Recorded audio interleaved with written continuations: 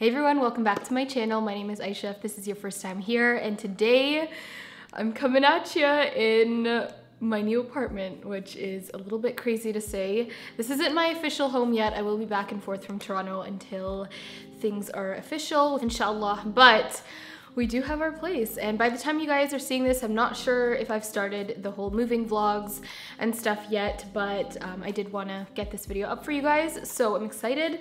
Um, today, I'm actually gonna be doing a foundation review and wear test as well because I have some stuff to do later on tonight.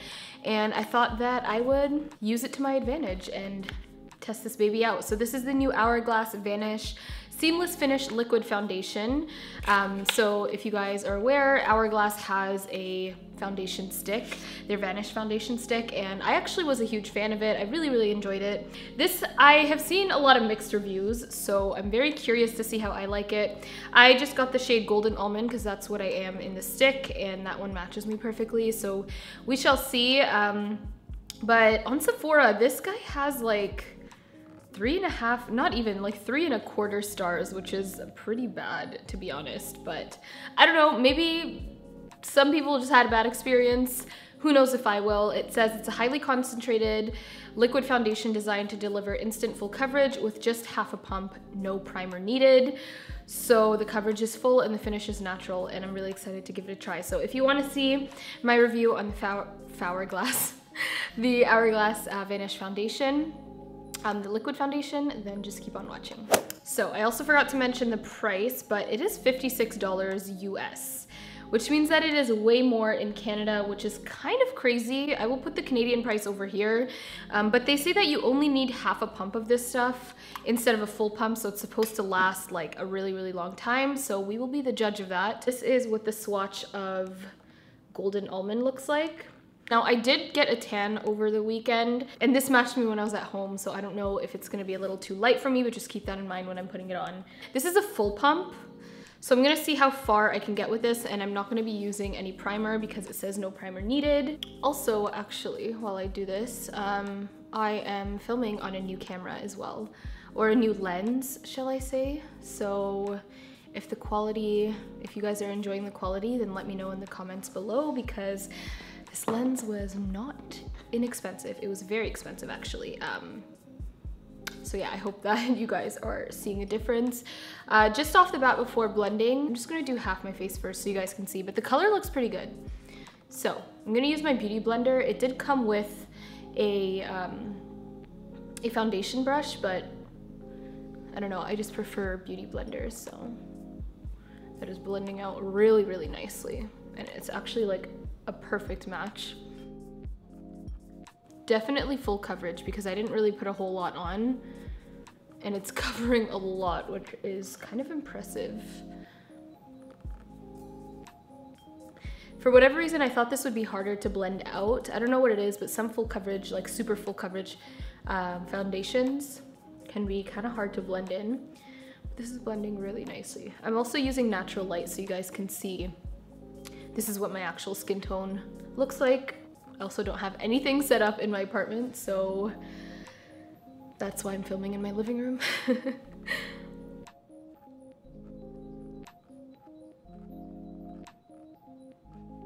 wow, I actually really, really like the finish of that. Like, I feel like it looks exactly like my skin, but better. Like, it's the same undertone and everything, it's just like more smooth. So you can see any of the discoloration of my skin is just smoothed out. And I really like the finish of that. All I had underneath was my moisturizer and I used the Lancome Absolu moisturizer. I ended up using a full pump actually, even though it said you couldn't use half a pump. And I'm guessing that's probably because I'm using a beauty blender and a beauty blender usually shears things out a bit more and soaks up some extra product. So I feel like if you probably used a brush, you could actually get away with using half a pump. But I usually use like three or four pumps for my foundation. So even just having to use one is pretty great. This is what the foundation looks like with one layer. Let me just zoom you guys in a little bit. Whoops. So you guys can see. I really, really love the finish of it. It's like very, very natural, like it does have that natural glow. It's not too matte, which I was worried about as well, so I'm glad it is not. Um, I do have a lot of texture around this area right now. I don't know what it is, but at least once a month, for whatever reason, I get a lot of texture around my chin. And I think it's like milia or something, just like, I don't know, maybe I was just like stressing my skin out. I also was just very stressed this month. Uh, so that might be it. So if you're seeing any texture over there, that is why it's not the foundation. Um, but it did go over that texture really nicely and kind of just smooth things out a bit more. So I really, really like it. Um, I am gonna build the foundation up just slightly just to see how it layers. Probably like a quarter of a pump like that. And I feel like that's probably all I'll need. I'll do a little bit on my birthmark over there and maybe a little bit on the nose. That actually covered my birthmark really, really well.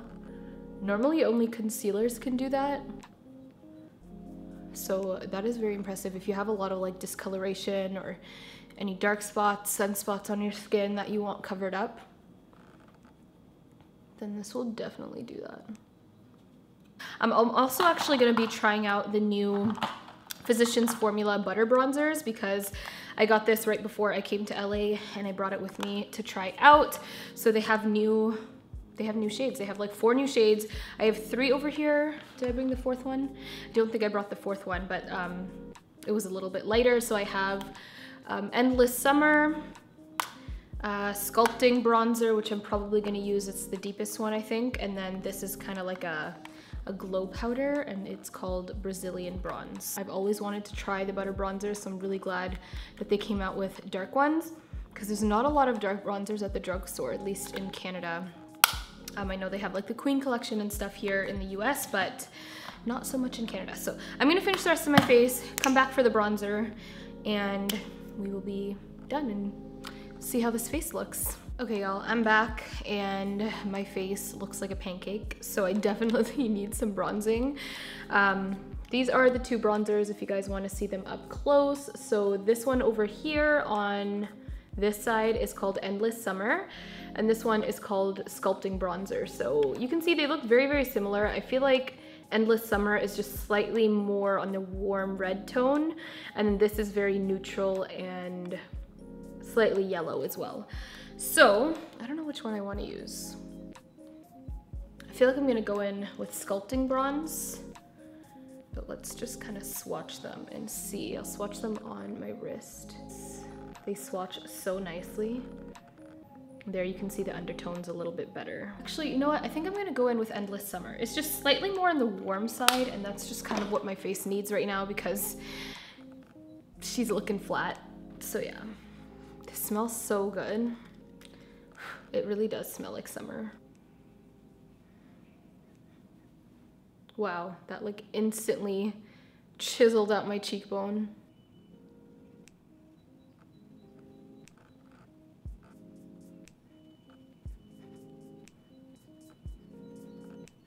Wow, that like instantly transformed my face. Like my cheekbones are popping now. it definitely warmed things up a bit and it has a stunning finish. Like it is like an airbrushed finish. I am really, really loving this bronzer. I totally get the hype. Also gonna take that down the sides of my nose for a little subtle contour.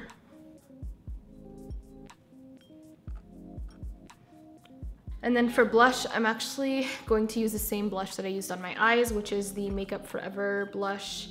Um, I don't know the name of it, but I will have it linked down below for you guys. I'm going to kind of like a Galentine's Day themed event um, with a K-beauty brand.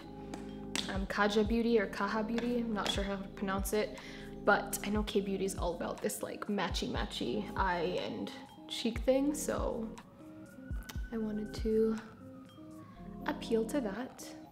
And then I'm just taking my Hourglass double-sided brush and just toning that down slightly. I'm gonna set my face with the Morphe Continuous Setting Mist, and this isn't really to prolong the makeup. Um, I really just want the powders to settle since I put a lot of powders on top, so I'm gonna do a little bit of a spritz, not as much as I usually do though.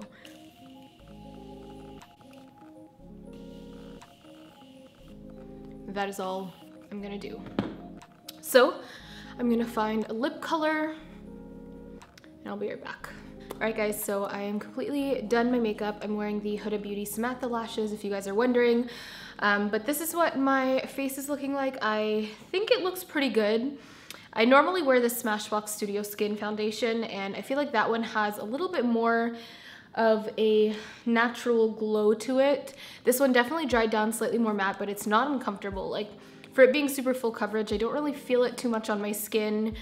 Um, and I think it looks beautiful. I mean, it looks great on camera. It looks really great in person. So I'm gonna see how this lasts. I mean, by the time um, I finished doing my makeup. I've already had this on for like about an hour and a half now. So, so far so good. No creases or anything, but that could definitely change. So I am gonna give this guy a couple hours. Um, maybe I'll do a check-in before I leave for my event. Right now it is 4.56. I don't even think you'll be able to see that. It's 4.56 p.m. and I'm gonna be leaving around like seven. So I'll do a little check-in um, before I go to the event so that you guys can see what it looks like. But so far I'm really liking it. Really digging my makeup and I will see you guys when I see you. All right guys, so I'm here for my first check-in. I'm just in my bathroom. The lighting is actually pretty bomb here, so I'm very happy. This is what the foundation is looking like so far. And it doesn't even look like it has creased or cracked at all. Maybe just a slight bit around here. It feels really good on the face. Like it doesn't feel any heavier or whatever. I don't know, it just looks really good. One sec, let me look super close to the mirror. Yeah, so I just looked into the mirror and I'm really liking how this is looking. So I'm basically gonna go to my event now. It's about 7 p.m., just letting you know. So I've had this on for roughly four hours now and we're good to go, but only time will tell. It is raining, a little bit humid outside, so that could potentially alter this foundation, but we shall see at the end of the night. I'm really glad that this lighting is really great though, so you guys can be able to see how the foundation looks at the very end of the night, right before I wash it off. So I'm gonna head to my event and then I will check back in at the end of the night. All right guys, so I'm back. It is the end of the night. Baby, what time is it? It is 10.41 p.m., which means that I've had this foundation on for just under, um, just under eight hours, I think. Uh, but I have given it a lot of wear. I went to the party and it was raining outside as well. Um, so some raindrops got on my face. I also went to sushi, so I was eating a little bit. And I'm just gonna see what my face looks like in the mirror. So I'm looking up close. There is a little bit of creasing, if you can see right over here, but not very much like not very much. And I was like smiling laughing eating and stuff like that. So that is pretty impressive. Everywhere else honestly held up really well. It definitely is a slightly more matte but as you can see there's a little bit of I wouldn't even call that an oil just kind of like a dew like a natural skin glow peeking through the foundation.